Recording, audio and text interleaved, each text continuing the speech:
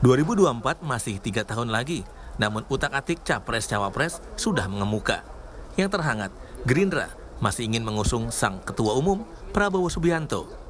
Yang menarik, Gerindra mengisyaratkan akan berkoalisi dengan PDI Perjuangan di Pilpres 2024 nanti.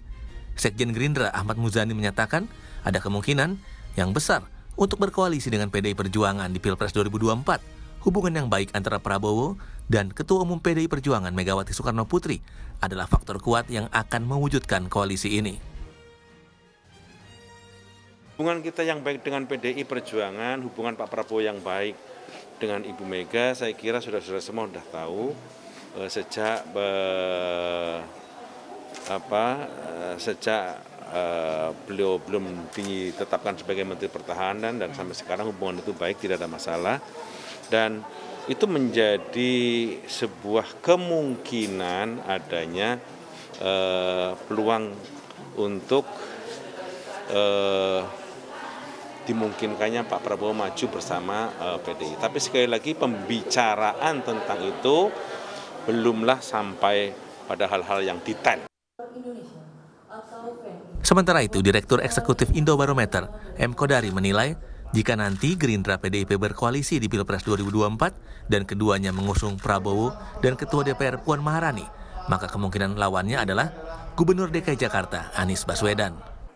Nah, kalau ini tercipta ya, dan Prabowo Puan misalnya jadi paslon, maka kemudian tentunya eh, partai politik seperti Golkar, Nasdem, PKS akan mencari calon yang lain Nah, calon yang lain itu dari mana? Saya kira kemungkinan besar adalah Anies Baswedan. Kenapa Anies Baswedan? Karena ya tiga besar, empat besar itu ya eh, yang paling tinggi itu adalah Anies Baswedan. Jadi kalau empat besar itu kan Jokowi, Prabowo, Anies, Ganjar begitu. Kalau PDIP bergabung dengan Gerindra, maka akan tercipta koalisi besar ya, bukan hanya PDIP dan Gerindra, tapi saya kira juga biasanya dan kemungkinan besar akan mengajak uh, partai Islam juga ya, uh, yang pasti PKB. Dalam beberapa hasil survei Capres 2024, nama Prabowo Subianto memang masih berada di papan atas, seperti di survei Litbang Kompas pada pertengahan April lalu. Prabowo berada di peringkat dua, itu pun karena ada nama Joko Widodo yang sudah tidak bisa mencalonkan lagi di 2024. Prabowo dengan 16,4 persen suara unggul dari Anies Baswedan dan Ganjar Pranowo. Lalu di survei Carta Politika pada akhir Maret lalu, Prabowo ada di urutan pertama dengan 19,6 persen. Disusul Ganjar Pranowo dengan 16 persen, lalu Anies Baswedan 12,6 persen. Sandiaga Uno dan Ridwan Kamil masuk lima besar. Kemudian di survei SMRC pada awal Maret lalu, Prabowo berada di urutan kedua setelah Joko Widodo yang sudah tidak bisa mencalonkan diri lagi.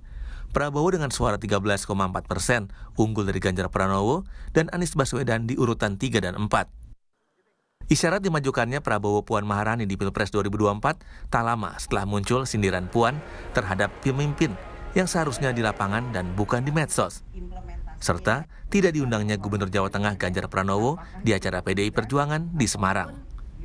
Tim Liputan Kompas TV